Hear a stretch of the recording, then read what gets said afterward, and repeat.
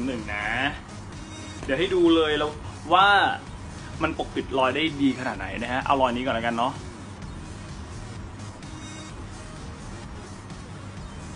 มันดีมากๆเลยมันเหมาะสำหรับผู้ชายที่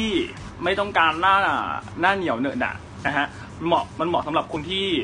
เอ่อต้องการผิวแบบธรรมชาติอะไรอย่างเงี้ยอ่าให้ดูนะครับสำหรับ นี่ อันนี้คือข้างที่ทาอันนี้คือข้างที่ไม่ได้ทาเป็นไง มันดี นี่ เห็นไหม ตัวนี้ทาได้หมดเลยนะ